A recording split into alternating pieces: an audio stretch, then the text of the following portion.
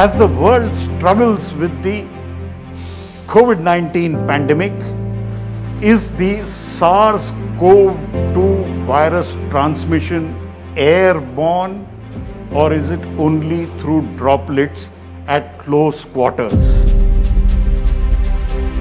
Scientists from the Council for Scientific and Industrial Research have done experimentation to prove that the SARS-CoV-2 virus can be transmitted as an airborne infection.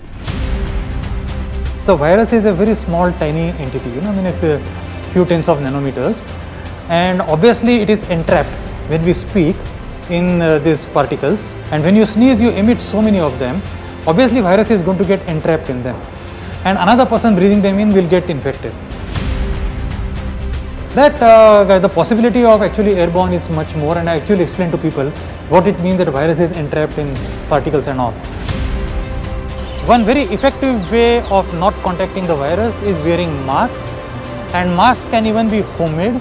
Two or three layer mask at home, a three layer mask is sufficient to actually give you very heavy protection. This particular instrument is used for checking and sampling the air.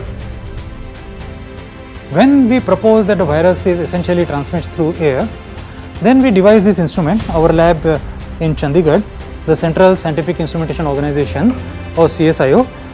As you can see here, mm -hmm. is the instrument is on now. Mm -hmm. So it's sucking air. It's sucking air. And the air is going from behind as you can see here. Yeah, it's coming out from here. Coming out from here, it is sucking from here. Correct. You know, so, and there is a filter in between. And the filter captures that particular air. That's essentially what we do. We took this machine to many different hospitals.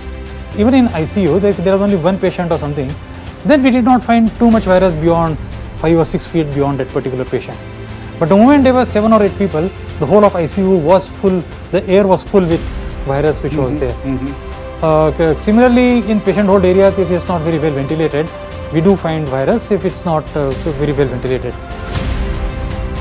If the SARS-CoV-2 virus is transmitted through air and is airborne, then controlling the pandemic takes a different trajectory. Keep watching India Science.